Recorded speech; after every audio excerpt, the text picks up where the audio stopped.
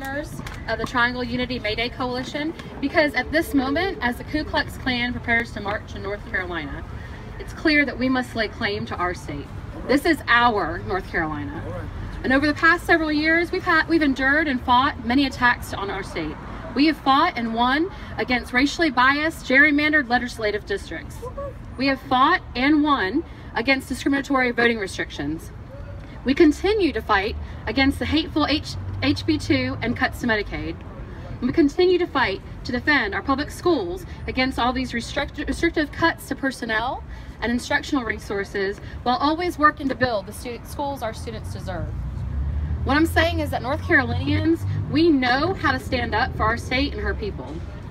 And after the election, I was terrified to hear that a terrorist organization with a murderous history in North Carolina was planning to return in December to have a victory march. And as an educator, my first thought's always about my students and their families, and I know that our families do not want their children growing up in a place where the Ku Klux Klan feels that they're welcome to march in our towns and in our streets. Their time of terror and fear is over. North Carolina is no longer theirs. You see, all of those attacks and, that we've endured over the past several years, they've served a greater purpose than any of us had ever, had ever anticipated.